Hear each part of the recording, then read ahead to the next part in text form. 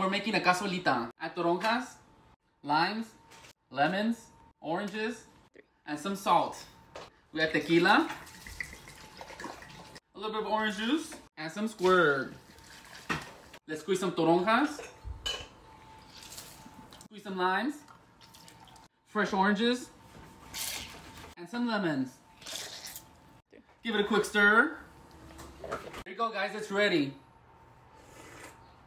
Yay, yay! A ver, Ama. A ver.